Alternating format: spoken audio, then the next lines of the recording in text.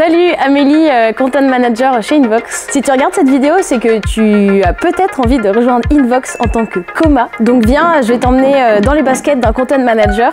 Qu'est-ce qui se passe vraiment au quotidien euh, sur une semaine type? Pour moi, un coma, c'est à la fois un pilote qui gère un projet de A à Z et un caméléon qui va s'immerger dans plein d'univers différents pour les appréhender et les prendre en main. Avant toute chose, qui dit chef de projet dit organisation. Ce sont les comas qui gèrent la production, qui la rythment et qui orchestrent les équipes qui interviennent autour de la création de contenu. On adore les plannings. J'ai aussi des points de production récurrents avec mes clients. C'est un moment de travail dédié où on fait aussi le suivi des projets. Au cœur du métier, le contenu.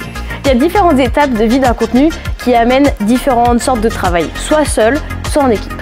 On a la prise de brief, qui est un véritable moment d'échange privilégié avec un expert. Puis à moi de jouer pour transformer cette matière en un super contenu.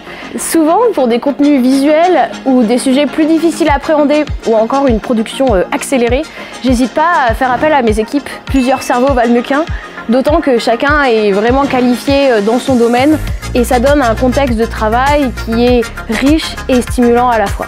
Autre chose que j'apprécie particulièrement, et qui était d'ailleurs une de mes raisons de rejoindre Invox, c'est tous les projets et les ateliers qui rythment la vie de l'équipe.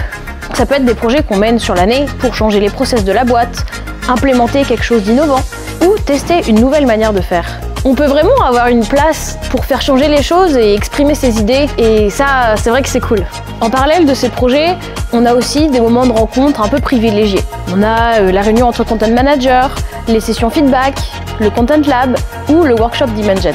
C'était important pour moi de trouver une entreprise où il fait bon vivre, où on peut être soi-même et épanoui au quotidien. Voilà, maintenant tu vois le quotidien d'un content manager. L'équipe grandit en continu, on a toujours des offres ouvertes, donc n'hésite pas à envoyer ta candidature pour rejoindre la team Coma. À bientôt